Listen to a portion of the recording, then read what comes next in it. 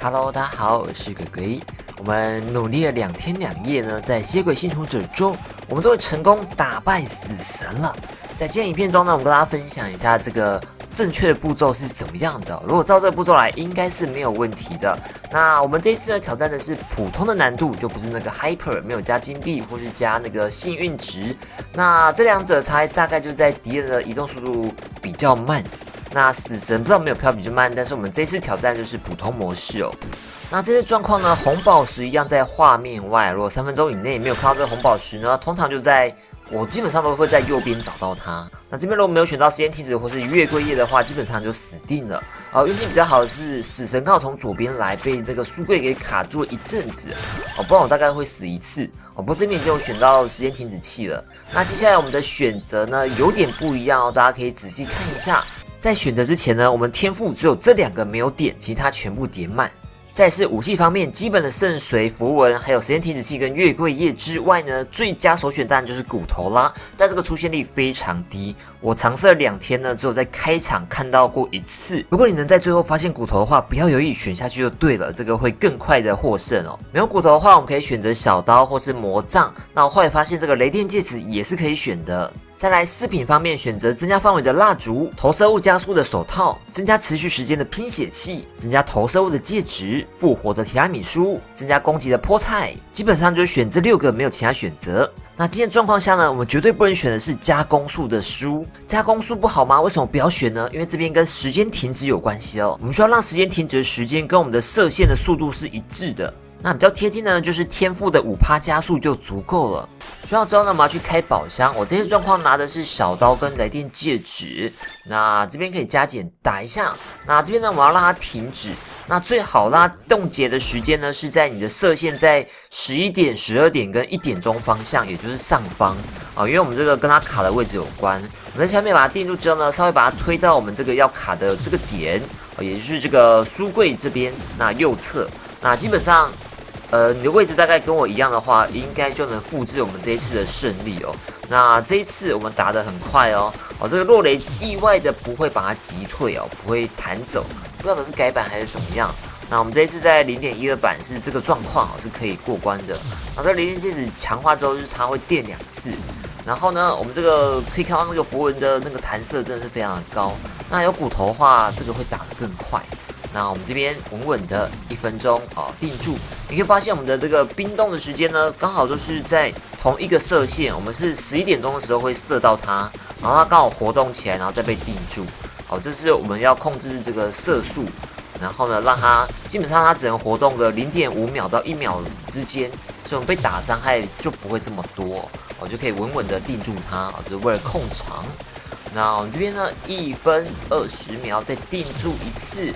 然后很稳哦，很稳。它卡这个位置，然后造成最高的伤害，然后解决了一分二十六秒，真的吗？真的解决了吗？我们慢动作再来看一次死神消散的瞬间，真的解决了，而且好快哦！没有骨头，居然在一分二十六秒就能解决了，真的很夸张。我们这一次的状况真的是非常的顺利哦。那这次的选择也没有说到太特别，就是。啊，都是很好选，都会拿到的东西哦。那主要就是我们调整那个射速，让我们的冰冻射线可以稳稳的控制住它。所以我觉得这一点应该是非常关键的。那接下来我们就还可以看能不能打到第二只死神，那或是可以存活多久呢？哦，这边还是等它推过来。好，那一样的位置，然后一样十一点钟啊，把它定住。那一样的伤害输出吗？呃，它好像需要再下来一点，它有点太高了。所以你要注意到，它死神不能太高，太高的话，我那个符文会弹不到。你可以发现这个伤害就少了很多。所以这边我想办法拉下来一点。好，所以我们动作这个射线就是很稳定。好，所以它移动不容易。好，有稍微引它下来一点了。OK，那这大概这样子。啊，那这个伤害也是非常高。那我们刚刚花了大概，呃，除了前面移动时间，大概花了一分十几秒打败第一只。那第二只呢？呃，同样的时间下有办法打败吗？来试试看。那这边等待三分钟，然后第三只死神要出现了。啊，其实已经是第四只了啦。不过这只输出的时间没有像第一只这么多。来看一下状况，没有办法解决它。好，那准备三分钟，死神进场，可以推进来了。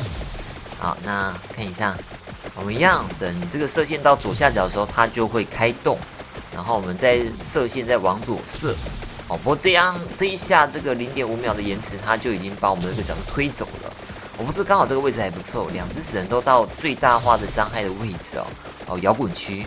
好，那我们伤害应该很棒才对。好，时间三分钟。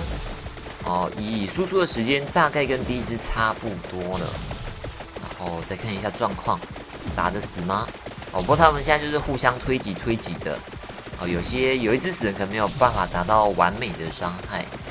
好，再来。不过这样子四分钟要到了，好，可以吗？我觉得输出时间应该已经要能打死才对。如果他们血量是一样的话，我觉得应该已经可以打死第二只死神了耶。好，那四分钟，呃，第五只死人入场，呃，这个状况下就有点不妙了。我要定住这三只会有点难。哦，不过你可以发现，这个雷电真的不会击退那些死神呢。卡得好的话，它还是会被那个书柜卡住的哦。啊，所以如果之之前没卡好，你可能是太上面了，然后死神从上面滑进来的。然后可以发现，三只死神好像有点撑不住了。他们，呃，我现在没办法完美的输出，有点位置不对了。哦，稍微走一下，嗯，好像不太行。哦，但打那么久，伤害应该也够了，还是打不死第二只诶。所以我觉得他死神的血量会不会每一只死神血量都是翻倍的？不晓得他设定是怎么样。但是我撑不住了，四分钟四十五秒。那再看看我的复活还有几次？但我觉得输出的时间，呃，比起第一只来说，应该他要死掉才对哦。哦，但是我们三十五分。好，还可以复活个两次吧，再刷一下。好，第六只进场啊，真的是不妙。好，真的撑不住了吗？大概是不行了，不行了。好，再复活。好，这是最后一条命了吧？再撑一下，还是打不死哎。到这个状态，真打不死哎。我觉得我们输出力。比起第一只真的时间长很多了，那不过我们还是打败了第一只死神，没有问题了。最后的结算是这样子的，那打败死神不会跳成就，我们回到主画面看一下，真的有解锁死神了吗？